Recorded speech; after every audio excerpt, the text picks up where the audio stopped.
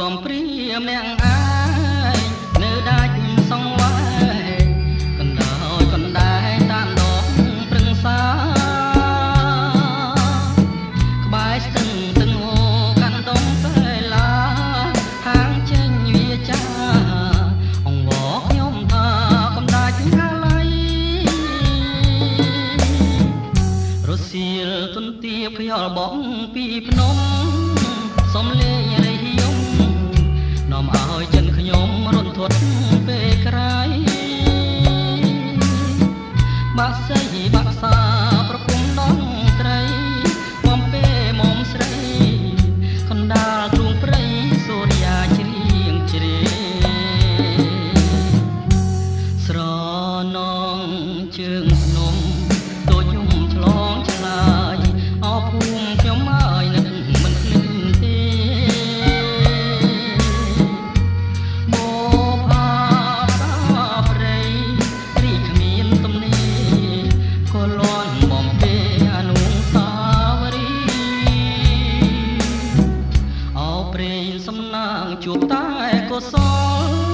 វាសនាបាន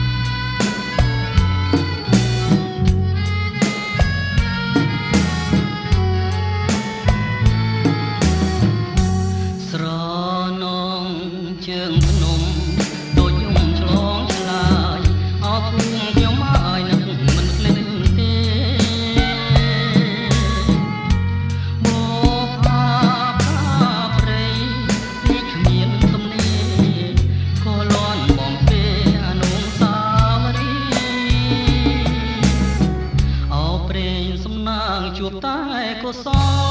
ល